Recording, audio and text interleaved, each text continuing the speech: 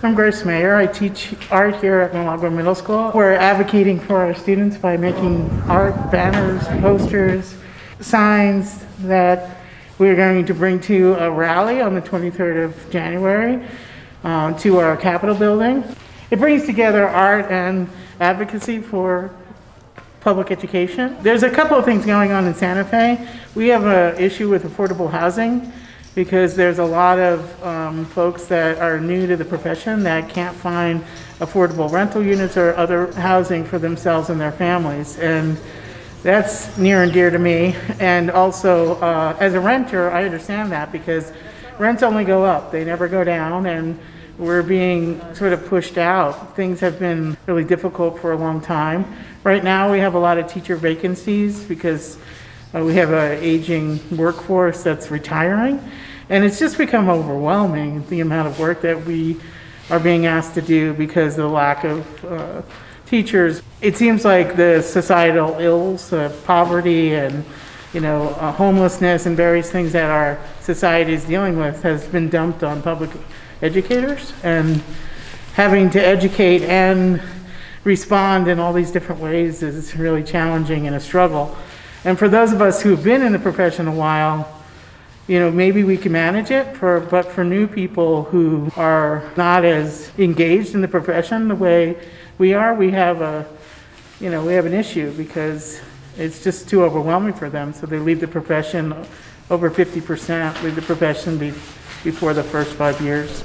Educators need the pay to stay, so we need raises, considerable and substantial raises um, over a series of years, and we need to raise the the base pay for many of our classified employees to a minimum of $15 an hour. But at this point in Santa Fe, we really need it to be 18 or 21 dollars an hour to keep up with the demand of other professions. Now there's a lot of jobs available, and so I don't know why you would work for a public school system if you're if you can work at uh, you know a restaurant or another place for $21 an hour.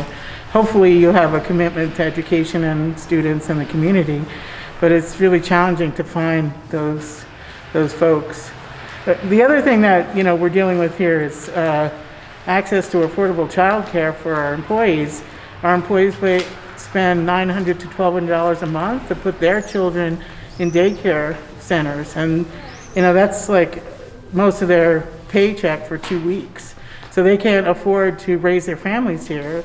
And it's really, you know, it's really challenging to have people stay when when they can't raise a family in the community that they work in. And it's really, you know, disheartening that we have people moving out of state because they the housing costs are, you know, out of bounds and childcare for their own children is, is not even accessible to them.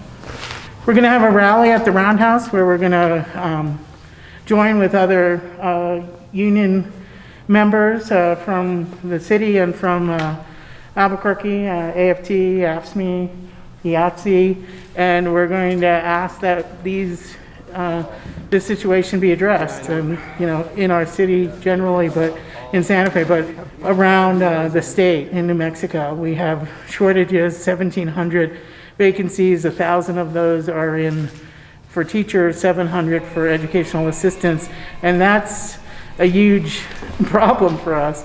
So we need the pay to stay. We need to up the salaries. We need people to recognize that we're doing everything we can in a pandemic to serve our students, but we need to also be able to raise our families here and live a decent, uh, you know, existence. If our community really values the work we do, then they should be paying us a living wage.